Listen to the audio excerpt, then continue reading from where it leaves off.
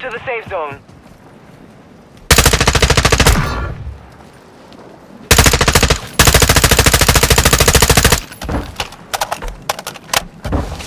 You've made it to the top five.